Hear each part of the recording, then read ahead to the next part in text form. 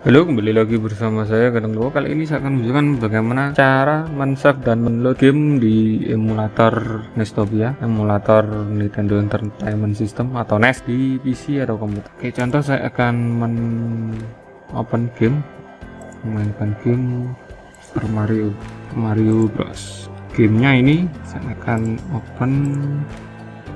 Lalu contoh saya akan mainkannya. Gitu saya akan memainkannya yaitu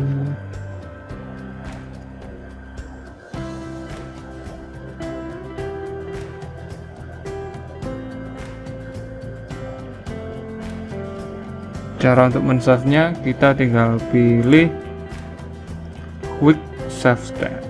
Jadi kita pilih di slot 1 atau kita bisa menekan tombol shift 1 shift plus angka 1 ini saya menekan di slot 1 untuk menloadnya kembali. Contohnya contohnya kita pilih saya kembali di sini.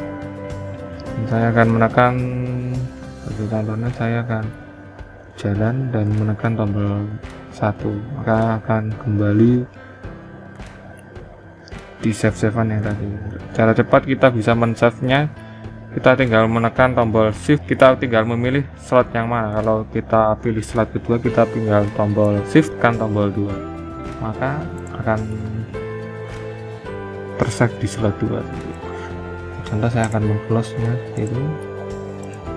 Lalu saya akan membuka kembali mengaturnya lalu saya akan memainkannya kembali dengan cara cepatnya kita bisa memilih tombol kita bisa memilih reset valve gitu kita langsung memainkannya di sini.